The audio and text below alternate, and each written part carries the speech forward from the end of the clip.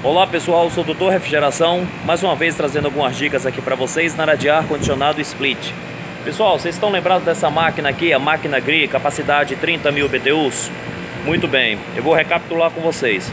A reclamação do cliente era o seguinte, a máquina estava funcionando a parte interna, a parte da evaporadora, mas a parte da condensadora não estava funcionando, tá? Então, primeira coisa que a gente vai atrás do defeito, atrás do problema.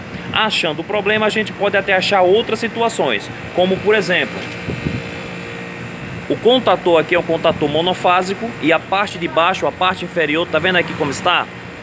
Derreteu, pessoal. Isso daqui derreteu devido à elevação da corrente elétrica, tá?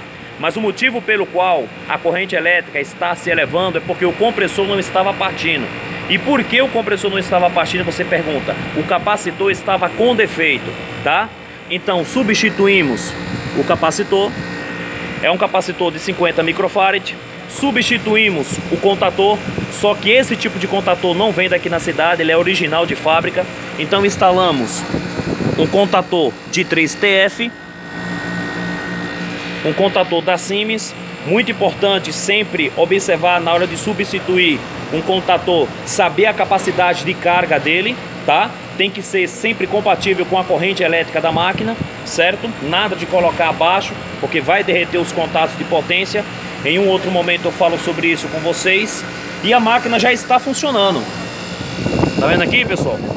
Sucção geladinha, ventilador e compressor funcionando. Não sei se vocês estão lembrando dos terminais aqui, ó. Pluguei terminais pré-isolado, Tá vendo? E a máquina está funcionando show de bola. Tá aqui o amperímetro, olha. Monitorando sempre a corrente elétrica do compressor. É uma máquina muito boa, pessoal. Máquina show de bola, tá?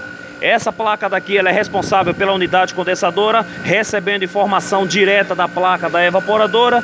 Serviço concluído, problema resolvido. Beleza, pessoal? Fica mais essa dica aí do Doutor Refrigeração para vocês. Se gostou, dá sempre aquele like. Se não gostou, que Deus te abençoe da mesma forma. Tchau, tchau.